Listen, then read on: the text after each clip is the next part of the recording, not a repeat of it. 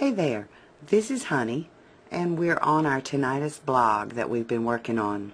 In the last video, I showed you how to put a YouTube video on your blog, but if you'll recall, I wasn't real happy with the fact that our first post, our initial post, got pushed down, and that's what typically happens with almost any blogging platform. The most recent post shows up on the top, but we want that first post to stay at the top.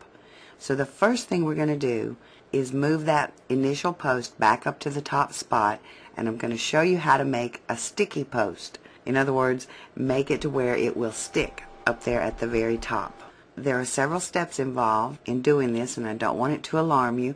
I'm going to take it very slowly and one step at a time and show you exactly what you need to do in order to make a sticky post on your blog.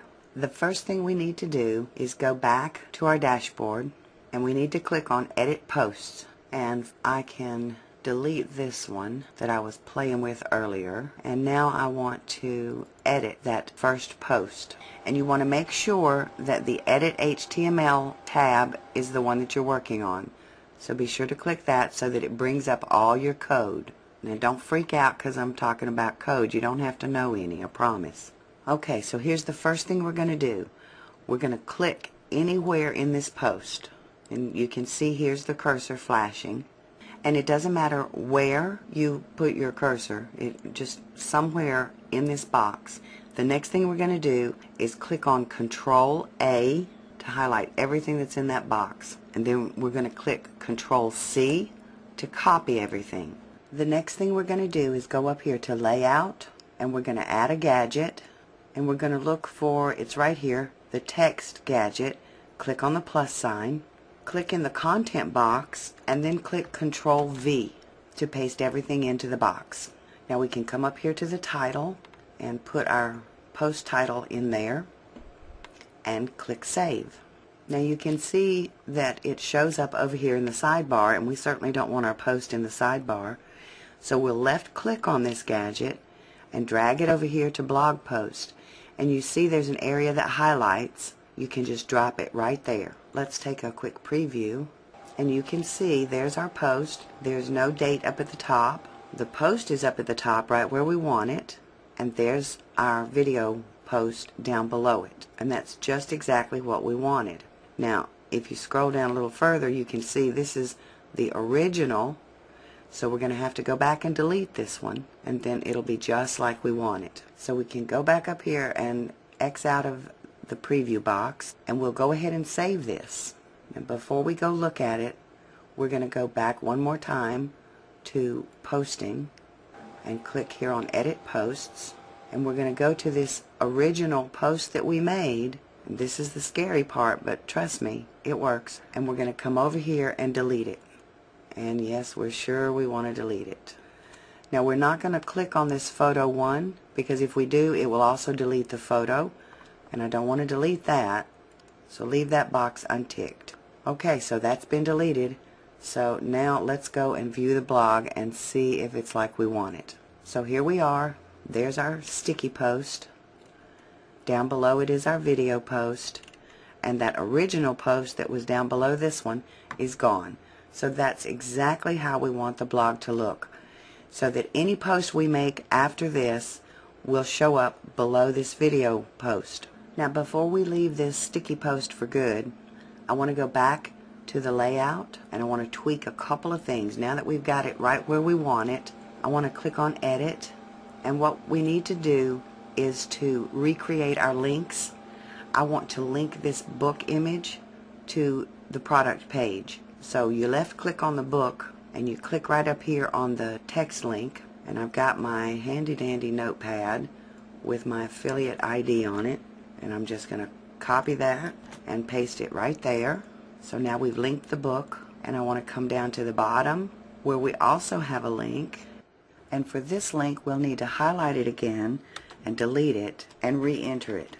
And the reason we have to do that is because the link we created when we were doing the original post doesn't carry over into this gadget box. So we'll just re-enter it and highlight it. Click on the link icon up here and paste in your affiliate ID and click OK. Now I think I'll also make that bold and I also want it to be the link blue so it's easily recognizable as a link. So I try to keep all my links that color. I also wanted to take just a moment and bold every other bullet point just to make it easier to read. And all you have to do is highlight it and click the B and it's bolded for you. Now once you're happy with the way everything looks then you click on save. And since we had everything in place where we want it and now we've made the little tweaks that we want we can view it one more time. So there's our sticky post and I think it looks much better with the bolding and there's our link. Now you always want to test your links to make sure that they go where you're intending them to go. And this takes us right to the sales page. And if we scroll down there's our video post and nothing else. So now we can begin adding some more content to the blog. And I'm going to show you a couple of places where you can get some quick and easy content to add to your blog. Okay, one place to get some quick content is at ezinearticles.com, which is a big article directory online, and there are thousands and thousands of articles here on hundreds and hundreds of different topics. So when you're needing some quick content, you can come to Ezine Articles and use the articles that are here. You just have to leave the resource box intact and the links have to be left active. And I'll show you what I mean in just a minute. I came over here looking for some content and I looked in health and fitness. I want an article on tinnitus, remember, or tinnitus as it's also called. And right here is their ears hearing subcategory. So if we click on that, that's going to bring up all the articles about anything to do with the ears and you can see that there are a lot of articles here about tinnitus. You can browse through the titles, read the descriptions, and then pick one that you think you might be interested in. Now if we pick one to look a little closer at, just pick one at random, this will tell you how many words are in the article. This is the article itself. This is the resource box. That last paragraph is going to be the resource box that you must include with the article, as well as these links once you've opened up an article to look at it, down towards the bottom of the page, you can see other recent submissions about that topic. You can see the ones that have been most viewed and the ones that have been most published. So for this example, I want to show you the six symptoms of tinnitus and what you can do about them. Here's the article. There's the resource box. Here are the links I was talking about. And if we want to use this as content, you can go up here and click on Ezine Publisher. When you get to the next page, there's more information about the article, but I do want to point out this statement from Ezine. You have permission to publish this article electronically or in print, free of charge, as long as you leave the article title, author name, body, and resource box intact. Means no changes. With the links made active, and you agree to our posted publisher terms of service, which I would encourage you to read before you start using any of this for content. Now, generally speaking, you can come down here to the plain text version and click in that box and it will highlight everything and you can take that and copy it and paste it into a notepad or directly into your blog. But at the time of this video, the resource box is not showing up in these boxes. So in order to be in compliance with Ezine articles, we're going to do it a little bit differently. But I just wanted you to know that typically it's as easy as that. You just click in the box, copy and paste. But since the resource box is missing, I'm going to go back to this article I've chosen and we'll just do it the old-fashioned way and come down here to the bottom and just highlight everything in that box. Control C to copy it. Then we're going to go back to the posting page in Blogger. Be sure that you're on the Compose tab and we're going to paste it right in there. We're going to jump back over to the article just for one more minute and highlight this title and copy it and take it back to Blogger and paste it in right there. Now if we preview this, it looks great except that you can see there are no breaks in the article. I really like to have some white space between the paragraphs because it just makes it easier. When you have no spaces like that, it looks more like a textbook and nobody wants to read a textbook. So I'm going to come in here and just create a space between the paragraphs. And you don't have to do this.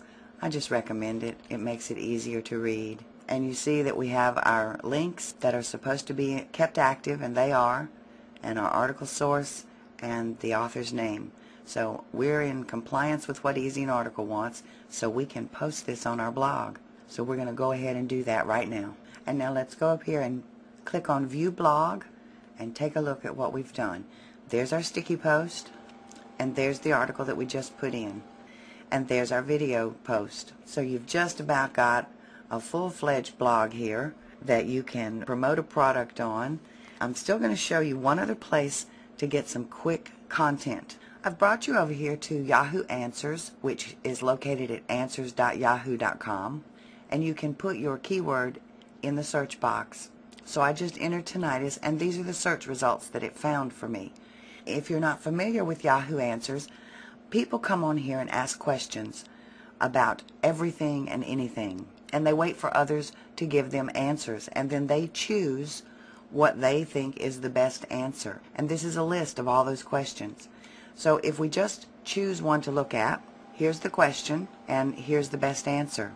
And what we're going to do is left click and highlight this question and copy it right there into the notepad then we're going to come down here and get the answer and copy that and put that in the notepad and then if we go back to Blogger, on our blog page, up here in the corner, we can click on New Post, and it'll take us right to the posting page. And all we're going to do is bring up the notepad, click on it, Control A to highlight everything, Control C to copy it, and Control V to paste. Now the only change I'll make here is put the title of the question up here in the title box. And let's publish this post. And we'll go take a look. That's our Yahoo questions and answers. Here's the article that we got from Ezine Articles, and there's our video blog, uh, video post. So you see how quick and easy that can be, and you have some pretty fast content for your site. Now, of course, you still probably want to go in there and put in some original content as well, but this gives you a, a good head start on a blog full of content. I still have a couple of things I'd like to show you, so we'll wrap things up in the next video.